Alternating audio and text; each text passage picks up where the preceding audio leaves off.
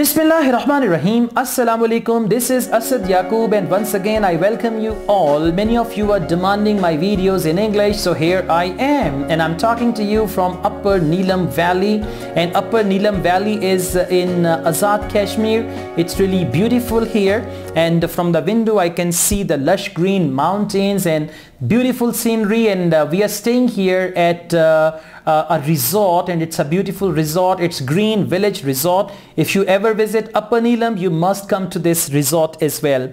Now I'm going to tell you about essay writing and the topic is improve your IELTS essay score with relevant vocabulary.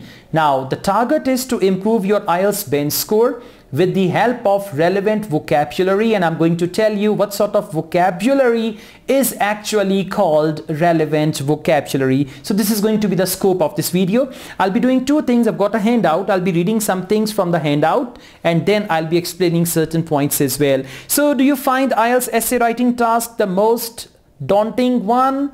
The answer is yes. Many of the students, they say, well, we don't have ideas to write essay. Some say we don't have knowledge to write essay. Some say we don't know how to start the essay and how to write the essay. But don't worry, I'm going to give you a perfect solution for that. IELTS essay seems intimidating to most candidates as it involves describing a given topic at length and the length is 250 words. The essay must represent a precise and clear idea on the given topic. Two things, precise and clear idea, along with a proper structure, correct grammar and substantial and relevant vocabulary. I repeat, substantial and relevant vocabulary for essay writing to get good bands. Okay, however, vocabulary plays a vital role in framing a good quality essay. It contributes 25% of your total IELTS essay writing score. 25% is lexical resource or vocabulary, that's what we call it. So in order to fetch a high score in task 2, that is essay writing of IELTS test, you need to be well versed with a wide range of vocabulary. In a minute, I'm going to give you some phrases. I'm going to explain some words which can be the band booster. I'll give you some band boosters as well. So let's see, why is vocabulary so important in IELTS essay? Generally, an essay is a story uh, when you sit to write an essay for IELTS academic or general writing modules, basically you're writing a story. Your essay tells an examiner about your point of view or opinion and an answer to the essay question. Thus, you must not only choose your words carefully, but also see to it that they are relevant to your essay. The words you are using, they must be relevant to the essay. Use of relevant vocabulary is in an essay makes it more authentic captivating and optimized. Now you know what happens basically as far as the vocabulary is concerned uh, you got to read the topic of the essay. After reading the topic, you got to see uh, there must be the relevant vocabulary according to the topic, number one, and then there must be alternatives. Now, for instance, if the topic is about watching television, so you should know other words to describe watch then the other words to describe television. If the topic is watching television for children, so you must know the other words for watch, for television, for children, because these are the three words which you will be repeating in your uh, essay. Second, if the topic is about internet, so you should know the other words to explain internet. You can use internet one time, but if on in the whole essay you have used the word internet, internet, internet, internet everywhere, definitely that is going to bring down your band score. But somewhere you're using internet, somewhere you're using online, somewhere you're using on the web, somewhere you, you are using the word website, somewhere you're using the word social media. So these type of alternative words words and this is what we call the relevant vocabulary. So if you're going to use the relevant vocabulary to uh, I mean, you're using the synonyms to express the ideas, definitely your band is going to increase. But if you are repeating, remember one thing, in IELTS writing, repetition of ideas, repetition of phrases, repetition of words. These are the three things that uh, bring your band score down. So if you want to get a higher band, then definitely you have to improve your these things. So far so good. Happy I'm making a video for you in English. Huh? Many of you are demanding that from me.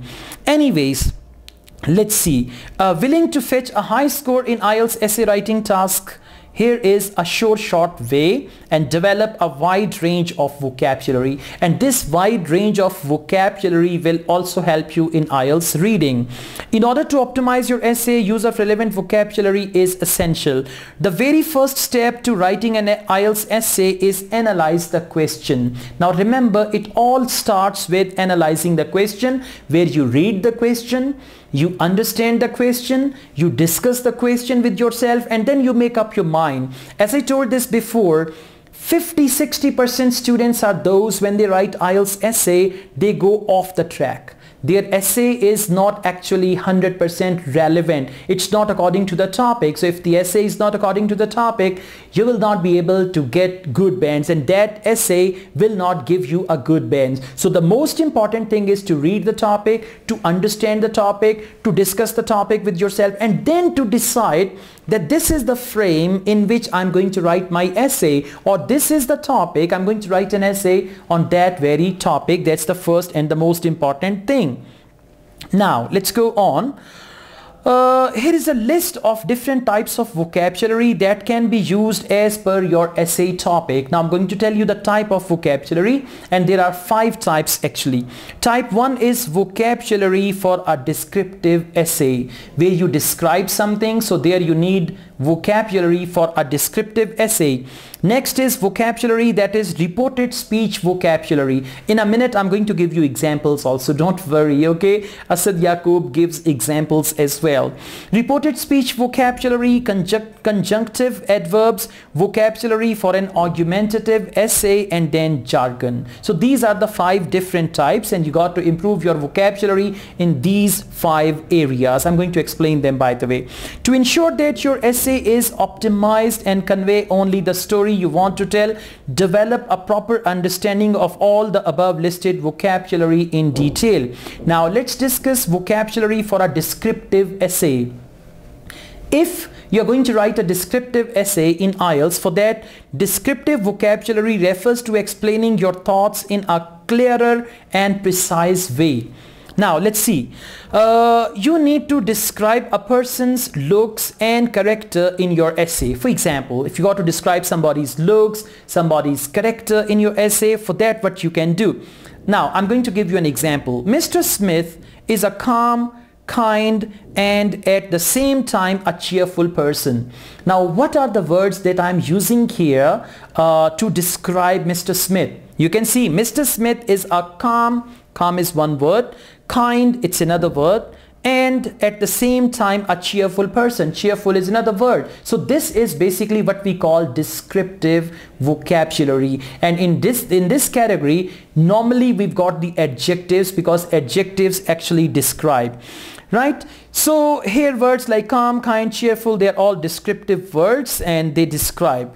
In order to articulate your essay beautifully what you need to do is write an essay, proofread it, find words that can be described in a better way and add adjectives or adverbs to those words to highlight your message. For example, consider a word abuse. Now we've got a word abuse, we also call it abuse. This word has a meaning on its own. Abuse means form of mistreatment. Now one meaning of abuse is a form of mistreatment. Now we are using it in two different sentences in two different ways so that you understand. One is they abused her. They abused her and second sentence is they sexually abused her now see that we are using adverb and because of adverb it's it's clarifying the meaning so the first statement does not make a clear uh, what kind of mistreatment she faced it's not clear when they say they abused her. Now they abused her how? It's not clear in that very sentence, right? But while statement number two makes the narration clearer, thus if you have uh, proper knowledge about descriptive vocabulary, you can use it uh, to add uh, nuance to your essay. Is that clear? That's the first thing. Now let's go on. The second type of vocabulary is basically reported speech vocabulary.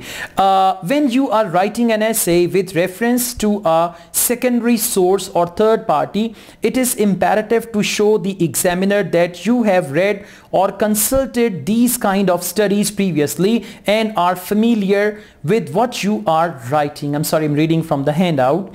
This is where reported speech vocabulary is helpful. Now I'm going to tell you what is reported speech vocabulary. Just see, according to, now you can write according to the research, according to the survey, according to some people, according to me, according to whatever. So this is what reported speech vocabulary which can bring more band score if you use this wisely. Next, based on the assumption made by now after made by whoever made the assumption, right? Based on the assumption made by, it can be said that again it's a reported speech vocabulary because you are reporting what other people have said, right? Next it can be as stated by as stated by some experts like that in fulfillment of in fulfillment of as specified by now specified by something or someone okay then it can be on the report of in the opinion of in the opinion of some wise people, in the opinion of experts. So these are some of the phrases and these type of phrases you must learn and this is what we call reported speech vocabulary. So far so good? Okay, fantastic. Now let's go on. The next one is actually called conjunctive adverbs. They are also quite help you in terms of writing good essay. Conjunctive adverbs, coherence and cohesion. Now conjunctive adverbs are going to help you with coherence and cohesion of your essay. Coherence and cohesion contribute 25% to the total score of your IELTS essay writing task. Therefore, it is essential that you maintain coherency in your thoughts throughout your essay. You can achieve this uh, uh, you can achieve this easily if you are aware of the conjunctive adverbs. Now please note it down you need to learn some conjunctive adverbs and you got to use them wisely in your writing so that you could get good band score and again I'm telling you overuse of all these things will never bring you good bands. You got to use them you got to use them wisely that will give you good bands. Now let's see we got some examples. Here are a few examples of conjunctive adverbs. Therefore and then there should be a comma therefore. So you're telling something you said something before that's why you're saying therefore. For example, uh, he misbehaves with everybody, therefore nobody likes him. Therefore, no one wants to talk to him or something like that. However, this is very very important word. Now it means what they said before. Now they're going to see say the opposite thing. For example if they say it is raining outside and the weather is nasty. However we will go out or however we made a plan to go outside right? So whatever it is going to be. Now you can say like uh, it is raining outside and the weather is nasty. However we will go for a picnic. So however means still you are going to do that right? Next we've got nonetheless hence besides also thereafter.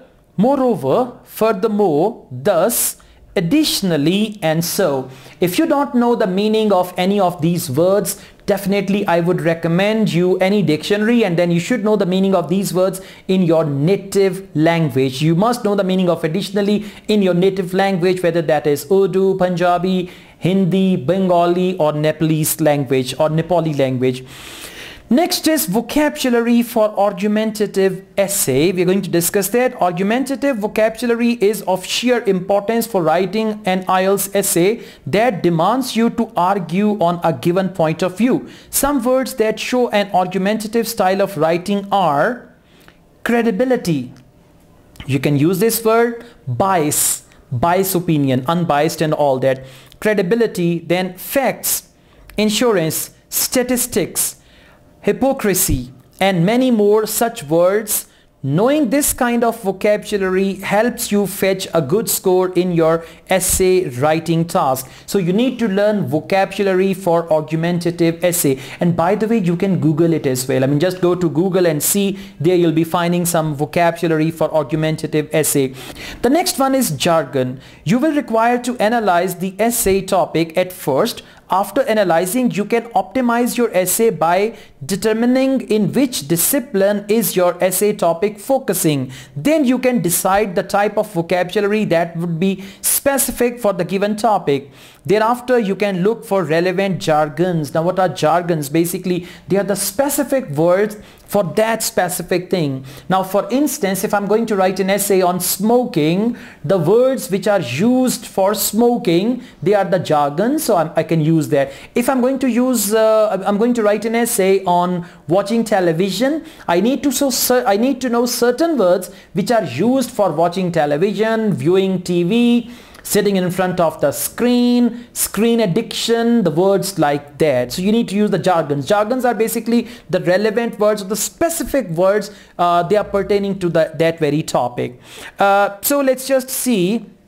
For example, you're supposed to uh, write on global environmental problems. Uh, in order to optimize your essay, you can use some specific terminologies like deforestation. Now, this is a good example of jargoning. Uh, the topic is global environmental problems. So in, in global environmental problems, you are actually using the word deforestation that's actually linked and what is deforestation this is a terminology we use when we talk about environmental problems next we've got uh, resources Next, we also use the word degradation uh, that relate to the global environment problems. So these are the words we can actually use. This is what we call jargoning. So whatever the topic is relating to that very topic, you should know some specific words. These particular terminologies are referred to as jargons okay? So use of jargon in your essay will inform the examiner that you are familiar with certain words and terms that are exclusively related to the topic you are writing on. So I hope you would have understood all these things and this video is going to benefit all the people equally, those who understand Urdu, Hindi, Punjabi and others as well. I know some of you are going to be annoyed, uh, going to be annoyed as well by thinking that make videos in Punjabi, make videos in Hindi, in Urdu and all that. But I want to make some videos in English as well because there is a large number of my students students basically a huge uh, population of my students who can only understand English because their native languages are different. So that's why I'll be making some videos in English as well. If you like this video, hit on the like button and don't forget to subscribe my channel and tell me how do you find this video your comments are going to motivate me to make more videos for you in English. On the other hand, I also teach IELTS online. If you want to join my online IELTS classes, my WhatsApp number is given here. You can contact me for that. An online class means I personally teach the class. I will come online on Skype. I'll call you on Skype or on WhatsApp. On one side of the call, there'll be Asad Yaqub. Other side of the call, there'll be you. And together we'll be studying IELTS. I'll help you. Uh, I'll help you get your required bands in IELTS right and of course I charge for that. Apart from this I've got another vlog channel that is Asad Yaqub Vlogs. You should subscribe that channel as well if you want to know further. Asad Yaqub wishes you all the best from Upper Neelam Valley from this beautiful green village resort. Take good care of yourselves. Allah Hafiz